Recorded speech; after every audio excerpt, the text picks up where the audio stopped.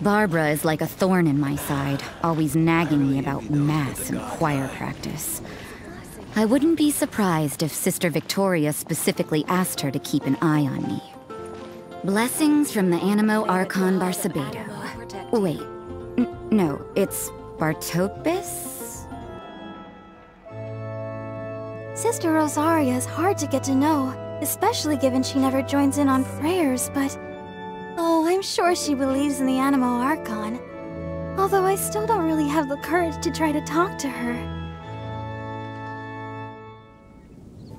Don't overdo it. Let me take care of the dirty work. Mondstadt is a beast of light, both old and young. Old in the sense that it constantly requires someone's protection, yet too young to ever survive on its own. That's why there's people like me. I care for Mondstadt just as the other sisters care for the believers. We are all guiding that which we love onward on the path towards freedom. Huh?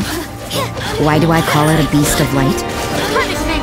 Because people like myself can only be found in the dark.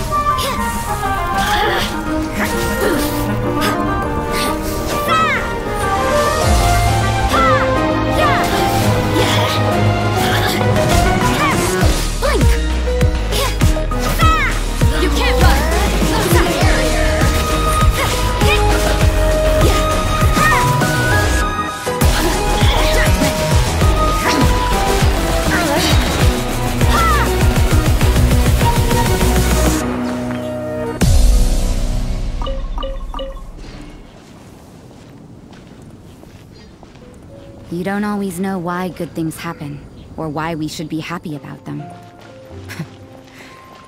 but if you ever face a problem too big to handle, don't give up hope. You never know. Someone may be there to help, even if you can't see them. There are some troubles that only a stiff drink can take away. That being said, I never get drunk.